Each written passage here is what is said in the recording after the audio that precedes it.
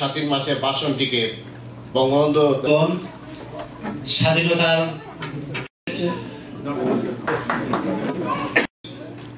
তার চার সহচর সেই সুকুমার চক্রবর্তী।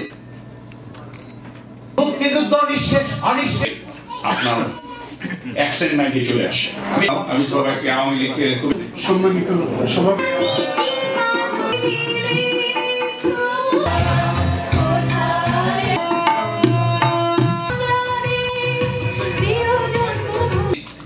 Let 30 seconds.